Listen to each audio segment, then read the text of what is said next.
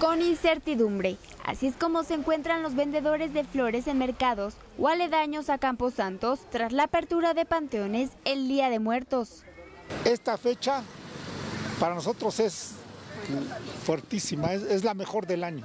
Pues es cuestión de las autoridades, estamos en manos de las autoridades, dependemos de lo que ellos nos digan, ¿no? Esperaban estas fechas con ansias para recuperarse de las pocas ventas que han tenido a lo largo de estos seis meses de contingencia y no pierden la esperanza de que así sea. Estamos este, vendiendo las plantitas de cempasúchil y también por manojo, eh, también el terciopelo. Esperamos que, esperamos que nos vaya bien toda esta temporada y pues aquí vamos a estar. Esperemos que suban un 10% más para que nos vaya bien también y pues aquí estamos en este mercado. Para no quedarse sin ingresos y recuperar lo que invirtieron en su mercancía, se han anticipado ofertando las flores a menor precio.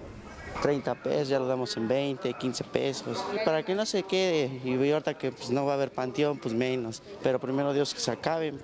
Aseguran que para salir adelante han tenido que reducir el número de empleados y los días de trabajo, por lo que el acceso a panteones los beneficiaría un 50%.